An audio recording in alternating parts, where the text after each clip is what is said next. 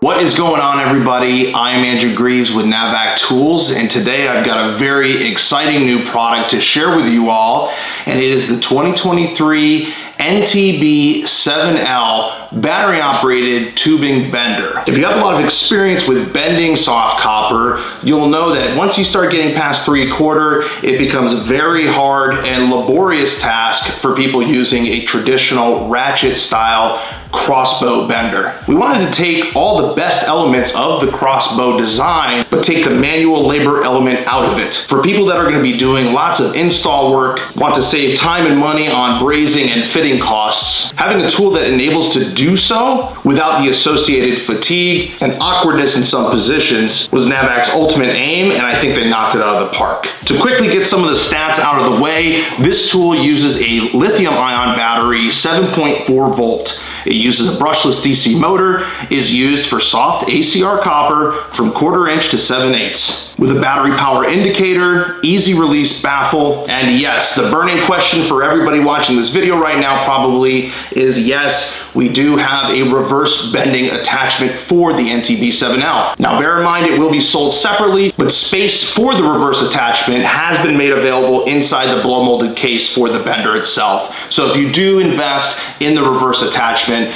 the case will accommodate it just fine. So from here, we'll go ahead, we'll pop open the case, we'll cut a little copper, and let's get to work.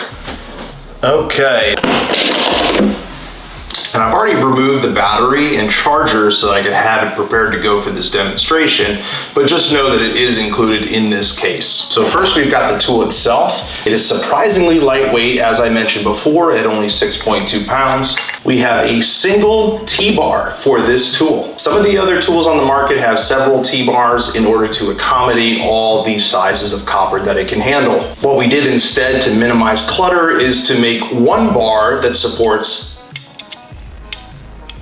every size, and the only thing you would possibly potentially change is the location or position of these two assemblies. You can see on this little scale here that if you are doing 7 eighths or 3 quarter, for example, you're going to be in this widest number one position. If you decide to change it up and bend some half inch, then we need to move to the number two position. Simply loosen the knob here and use slide until you hear a positive click. Repeat the step here, tighten your nut, and you're all set to attach to the tool. We are now left with our orange pieces. These are our mandrels. These are the pieces that will actually seat on the tubing and press upward as it makes its long radius sweeping bend. As I mentioned before, although it's sold separately, the NTBRK reverse bending accessory can be purchased and added to your kit. The case already includes the necessary recesses to accommodate both pieces. These are very heavy duty,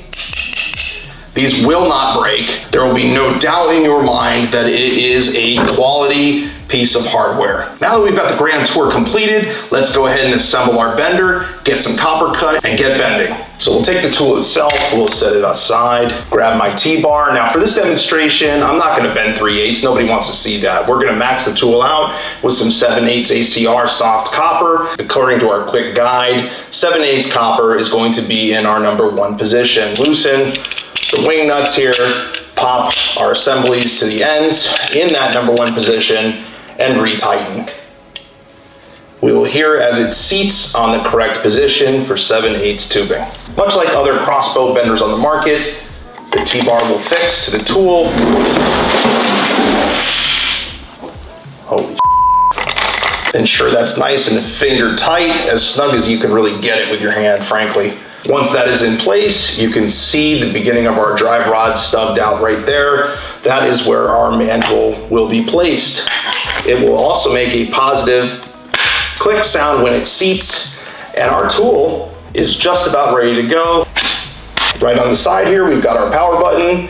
We'll press that on. Once the power button's turned on, you will notice under the handle is our battery life indicator, showing 25% increments starting at 100%, working its way down to zero. Again, we'll double check that the tool is actually turned on, and at that point, We can slide our copper into the mandrel. Again, double check that we are in 7 8 on both of our knob assemblies. And by sliding your thumb forward on the switch, it will begin the bending process. Now, if you release your thumb, there will be a positive stop on the tool. This is one of the huge advantages to the mechanism that we've developed for this tool. It truly gives the technician ultimate accuracy and control of the angle they wish to bend. Now, for the sake of this demonstration, we're gonna go full 90, which is the max bend on this tool. Ah!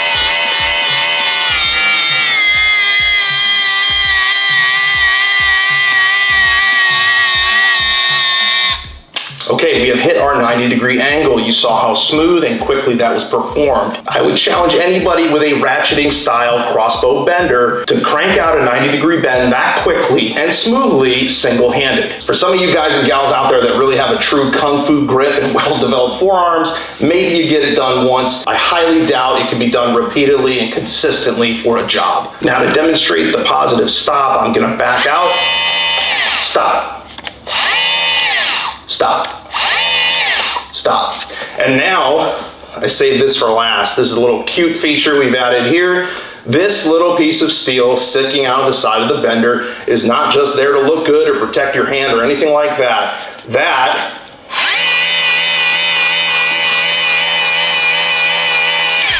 pops, pops the copper right out of the mandrel for you.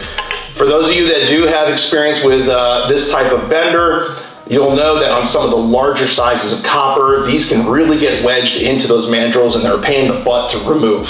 Now, if we take the piece of copper that we just bent, you can see we've got a nice sweeping angle. And for those of you particularly installing R410A units or other VRF units, ductless VRF variable speed units, you know how important oil return is and sweeping bends and minimal sharp turns help to ensure this. Another thing worth pointing out, if you look to the inside of this bend, we have a very smooth, clean bend.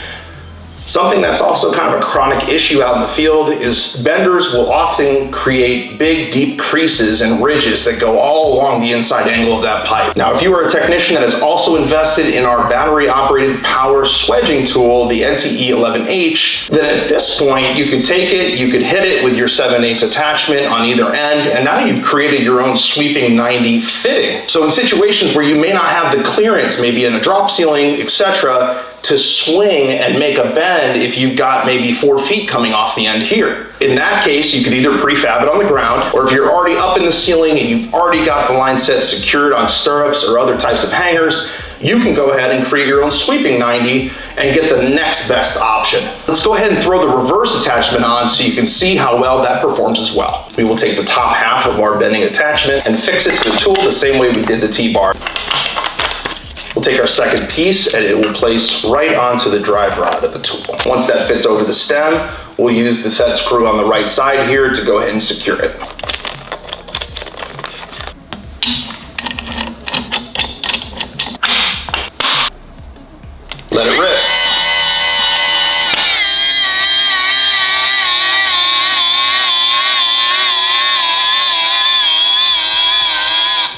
And there you have your reverse bend as well. We'll back the T-bar off. Once again, we've got a nice smooth inside edge, smooth outside bend, and another job well done. While I break the tool down and put it back into its case, we can talk a little bit about what this may look like in a field setting. National Training Manager for Navac Tools, Brian Schwartz, used the tool recently on a rooftop job. After running some soft copper and some conduit, he showed how the NTB7L power bender can work in perfect tandem with our NTE11H power expanding tool. By taking the time up front to measure and do a crystal clean layout, he was able to finish strong by some of the most buttery smooth bends I've seen out in the field. It's this type of job where you can really start to see the possibilities when you've got this trio, the break free series of battery operated tubing tools, which started with our NEF6LM battery operated flaring tool, continued on the NT11H power expander, and finished ever so nicely